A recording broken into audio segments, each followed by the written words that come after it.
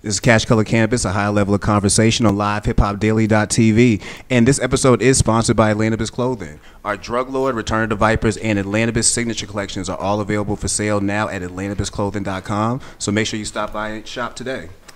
All right, so we got. Um, I did a little something special this week. You know, Black Friday is coming up next week, and normally I do my Atlanta City Market event at the last Friday of every month. But um, I didn't want to. I didn't want to battle with Black Friday. I didn't want to battle with that traffic or do anything like that. So I said, you know, it'd be better to try to combine the show with the event. So we decided to bring it together tonight. So um, our guests tonight are actually both focused on business and not necessarily the cannabis space. So um, and the first person I have tonight, Ebonee Ebonee um, Thompson. I've been following you on Instagram for a little while now, and it's mainly because of C3 Village, and I was I was um, always in interested in what C3 was. So um, I jumped in your DMs, shot my shot, and see if I can get you on the show. And I actually have been able to get you on the show. So Ebonee, thank you for coming downtown tonight and hanging out with our crowd for a second.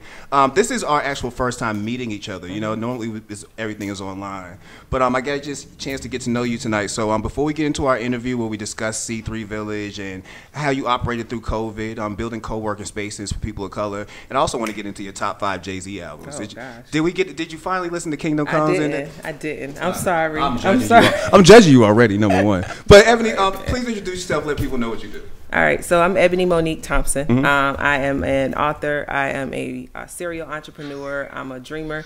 Um, sorry. Oh, stuff happens. Yeah, do you see where we at?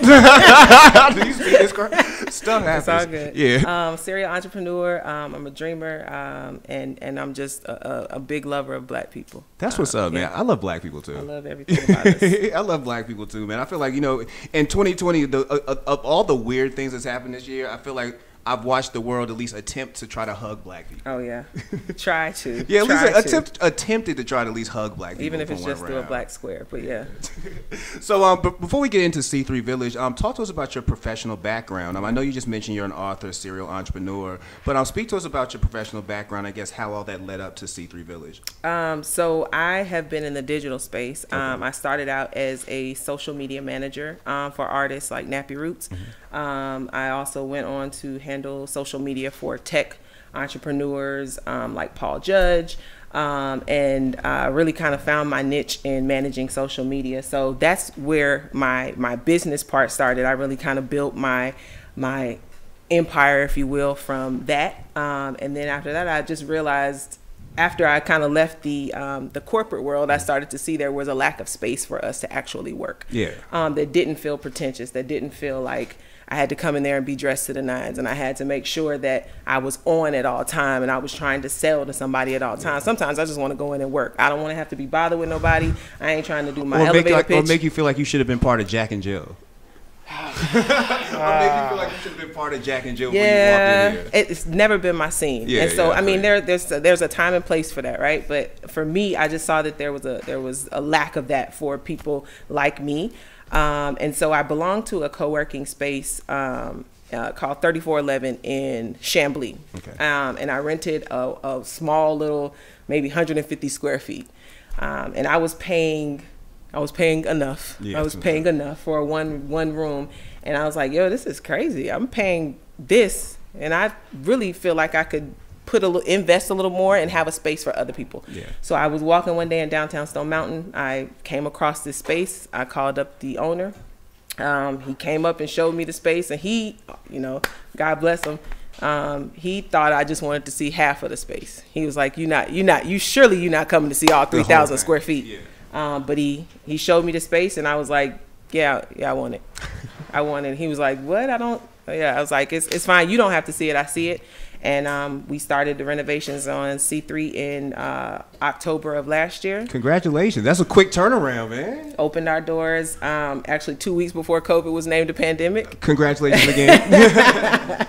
but it's good though because we've we've grown. We've sold out all of our private offices. We've um, we've had members who are just trying to get away from home and get away from their kids, get away from their spouse, and they are looking for somewhere to work that they that can be quiet and is going to allow them to be however they want to be when they're working or building or doing anything. And so we've been blessed to stay afloat thus far. So. Yeah, you know, I wanted to get into that conversation. Also, funny story because I was just texting them. Scales is actually coming by tonight from Nappy Roots. Oh, yeah, they, they actually told me, yeah, Cal and Scales are coming through tonight, man. So that's actually funny.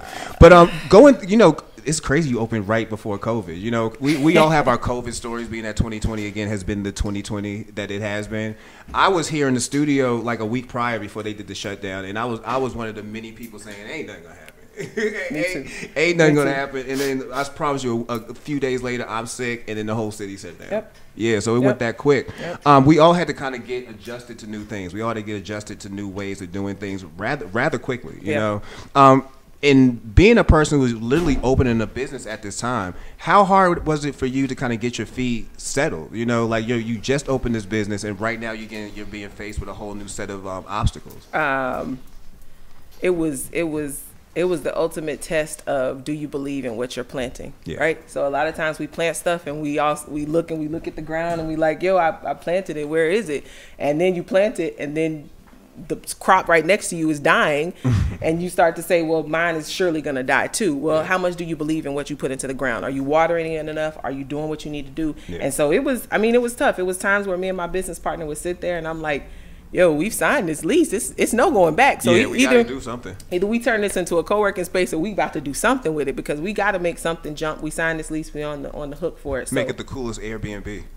something Something something, well the city of stone mountain is a little a little different a little strict. Everybody is um often scared of coming to stone mountain or you know apprehensive of because, because of the past and the Klan being there. But i always tell people it's 90% black there. It's 90% black businesses. 90% of my money is spent in stone mountain village and it's black businesses. Um, you're talking about black barbers you're talking about black restaurants you're talking about black coffee shops co-working spaces. And so um, the city of stone mountain has a history to where it keeps people kind of away um, but we, we're kind of trying to change that narrative Okay, that's great, man. Um, we do have other co-working spaces around the city, Yep. everywhere from. Um, uh, actually, one of them just jumped out my head, but we have plenty of plenty of spaces around the city.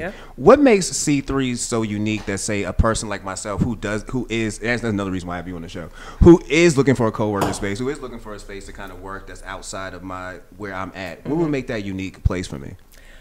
Um, for me, it's more of a village. Okay. It's and and that's the entire name. Is that um, when you come into a co-working space, you're sharing not only your working space, right? You're sharing your creativity. You're sharing your energy, and this is it, energy is transferable. So everybody who comes through our doors, it's not just hey, we here's here's three, four hundred, five hundred dollars. We want to be a part of the co-working. No, we want to make sure you're going to gel and Yeah. fit. And so it's not an application process, but we want to make sure that you know what you're signing up for. Um, on top of that, of course, we have our wonderful amenities, super fast Wi-Fi. All of these are, are not reasons that you would join a co-work should join a co-working space, but we have a relaxation room that gives you a massage chair, all of those things. But more than that, it's because it's we, we're not some big organization that has millions of dollars. This was literally built from my five year old daughter was pulling nails out of the wall to plaster, help us plaster the wall. This is a family business. This is um, two wives, two mothers who have got together and said, we want to try to change the narrative. I'm unapologetically black. My partner is white, but she respects and she understands. And you do have a partner. I didn't get a chance to mention yeah, her yeah, name. Yeah. And and she respects that and and she understands that and she's a, a complete ally in the paint. We'll stand in the paint. We'll hand every type of book that you can read on it. Um, but I think that to answer your question, it's just that we are a village and we are um, supportive in the fact of however you want to work and exist and Yeah, you know, so in this new space that we, I guess we're we're trying to get adapted to. Places like C3 Village are going to become needed. You know, you're going to have smaller rooms that people are going to be able to even be in. So it's it's needed that we have spaces like this in order to even continue to work. I was on your website and I actually thought you put together a really good blog piece about that, about mm-hmm. why this is the why going through this into the new area that we're going into, why this would be more part of the new normal. Mm-hmm. Can you speak about why co-working spaces such as C3 Village are going to be part of the new normal? Um, I'll answer from the area of one of our members as a teacher. Um, he's unable to go back to the classroom right now, Hmm. but his his school is actually footing the bill for him to come to our co-working space and work. That's so dope. it is it's going to cut down the cost of overhead. So if you think about a business who has let's say 3,000 workers in there, they have to pay for lights, electricity, they have to pay for security, they have to pay for all those things. So when you wipe out when COVID comes and wipes out all of us being in one space, they're then going to say, well, we're going to be able to cut costs by covering let's say three or four hundred two hundred dollars a month for their co-working space. So it cuts down the overhead. It brings in just the necessity of still being connected without also stepping the lines of your home work like like wife balance yeah That's good, man. Yeah, I, I've, I've been looking at co-working spaces for a little while. You know, um, being that the space that I am in with Cash Color Cannabis, Urban Grow Media, you're always kind of iffy. You know, we are we are linked towards cannabis. We do we do our interviews with black. Um, influencers and business brands uh, in that in, in this space, so I've always been kind of iffy about where to kind of bring this at. You know, Yeah. we, we'll always carry a stereotype with us no matter where I go. You Yep. know, it's Yep. just basically off the name. So even if mm-hmm. I tell you we're just going to be in here doing basic interviews, Yep. people are going to be nervous. Yep. So, would you be open to having a cash color cannabis there? Like I said, we would do our interviews. It, would this be a space that we would be comfortable at? Of course, I think I, I think I sent you an email like when I first or a DM when I first She started did. following you, and I was like, "Yo, we want you in C 3 and I. I was like, you know, how you read it, and it's like scene, red. You be like, "All right, I'm gonna act like act like I ain't see it. It's, it's all good. It's fine." But it's good because Yeah. it worked the way it's supposed to. Because I mean, you have to feel somebody's vibe to see if Yeah. they're genuine and make sure that it would be good. We're actually right next door to a CBD shop, so we are. Um, we are slowly the Yeah. city of Stone Mountain. I say we. The city of Stone Mountain is slowly starting to edge into understanding that this is the way that this is going to go, and um, it's our space. We can do what we want to. ah, that's what's up. I love hearing stuff like that. So, um, how are, you know, going into 2021? Have you thought about new ways to streamline the business? You know, again, there there are still going to be certain restrictions here and there. Like, are we going to see more Zoom applications happening through there? Um, more virtual events. Um, I know Mm-hmm. you do live events as well. Like, what are some of the plans you have going into 2021? Um, so we're going to be restarting our um, our classes that we have for our members. So we last, or actually this year, 2020 seems like it was a whole year ago. It but seems like it's five years just all today. crazy. Like, it just keeps going, man. Um, we had live classes, we have Zoom classes, we have yoga classes that we offer.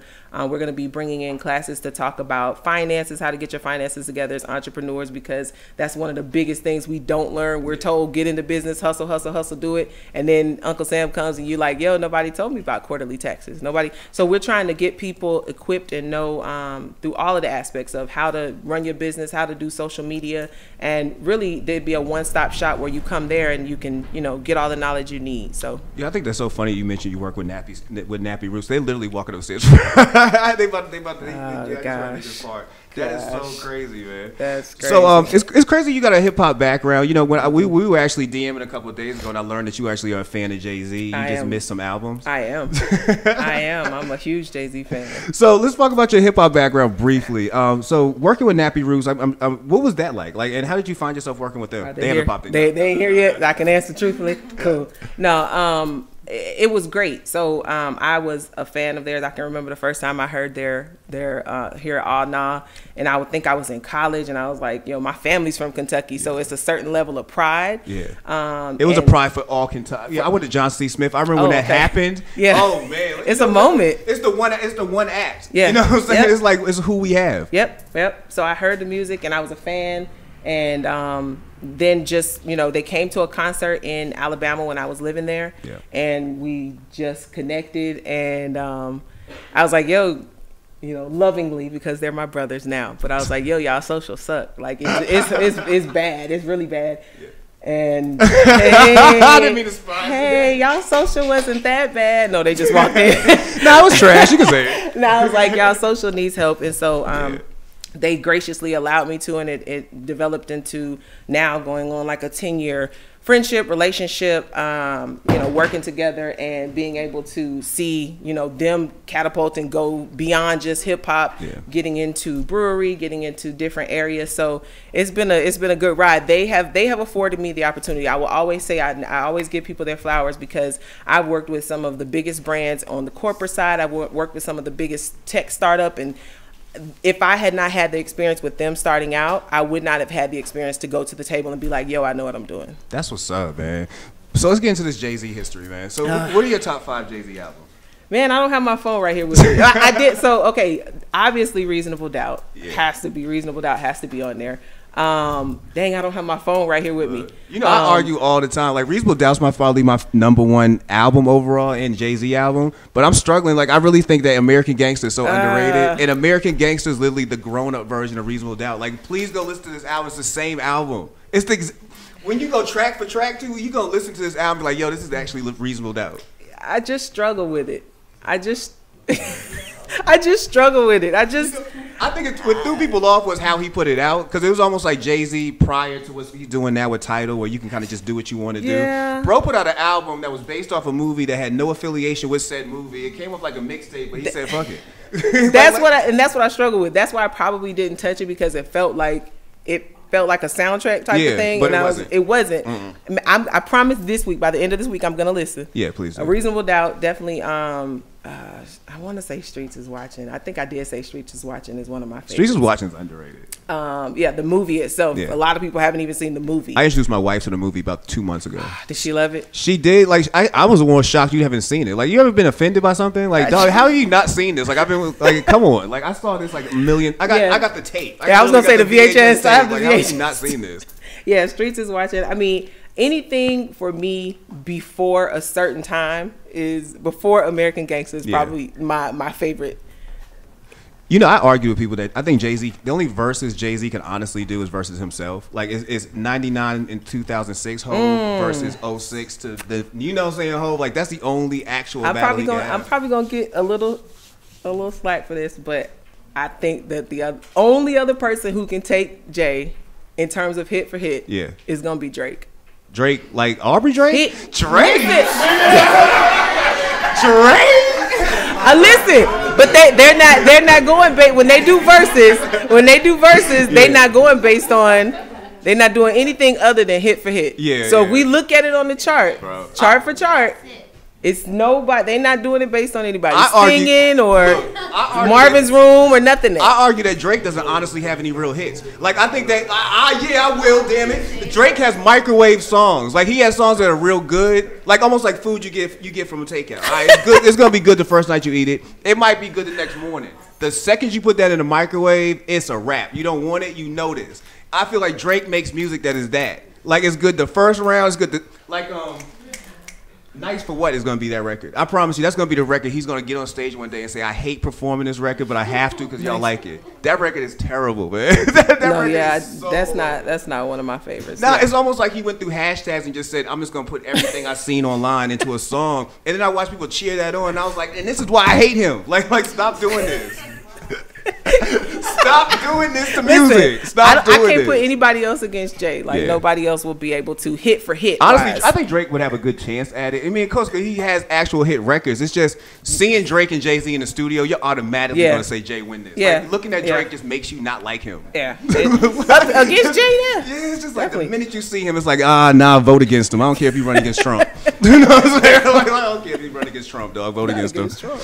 I appreciate you coming out. Um, for those who want to learn more about C3 Village, um, they want to get more involved, more into it. How can they do that? Sure. Uh, so we are uh, on all social platforms at C3 Village. We're at c3village.com. You can also um, follow me on Ebonee Monique. And then my social media agency, which we didn't even touch on that, which is fine, uh, is the Persona Agency. Oh, you my can, bad. Yeah, no, no, no. You don't. We we here to talk about C3. Yeah.